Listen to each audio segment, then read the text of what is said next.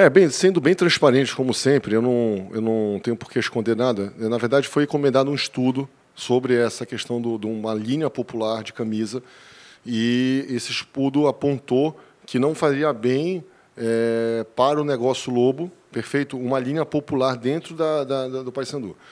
É, obviamente que isso é, uma, é um parecer né, técnico da equipe da Lobo. Agora, recentemente, o Fortaleza está lançando uma camisa a 60 reais. Vendendo, inclusive, e no camelô lá que, em Fortaleza. Que vai vender para os camelôs venderem, né, Isso. né, para...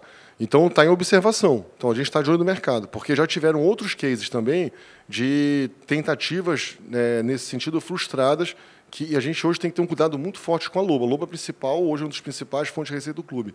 Então, a gente não pode se aventurar é, num projeto é, sem muita certeza do que vai acontecer, é, sob o risco de quebrar o negócio. Então, e, e soma-se a isso um ano muito complicado, Série C. Então, um ano que a gente também tinha muito, tem muito problema de receita. Né? Eu acho que talvez fosse projetos como esse, talvez numa Série B, numa Série A, você fica mais confortável de errar, porque se errar, por exemplo, Fortaleza, se ele errar, vai ter problema. Mas o Fortaleza recebe 30 milhões de reais da CBF para disputar a Série A. Então, ela, ela, ele, ele 30 milhões de reais só, só de uma cota de televisão. É, o Paysandu, se errar numa Série C, significa se afundar muito fortemente numa, numa, numa, numa, numa seara financeira que já não é confortável. Então, é essa a razão. A gente continua estudando, estamos observando o mercado e, se obviamente fizer sentido, a gente vai implementar.